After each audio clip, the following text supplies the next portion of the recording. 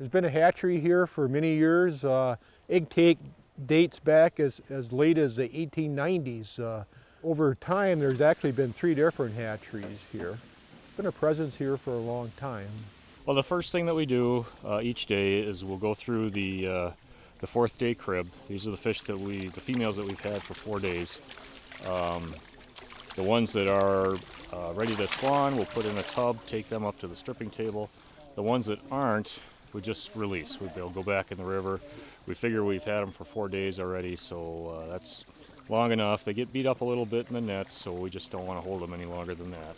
We're just crowding up uh, females. These are females we put in this crib yesterday that the, these weren't right yet. So we're going to run these up and crowd them up and then sort them again and check them if they're right. We do it every year. It really varies from, from year to year. Last year it took us 21 lifts in order to get our quota, which is usually about a thousand quarts of eggs.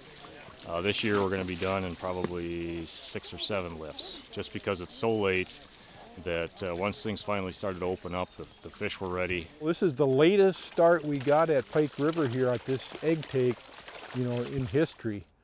And so we have the latest start, but it's uh, been a very fast run.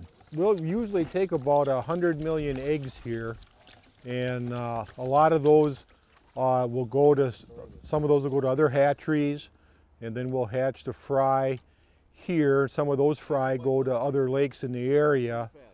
And I think we're stocking uh, 11.6 million in vermilion this year. We stock those back to kind of mitigate the eggs that go to other areas.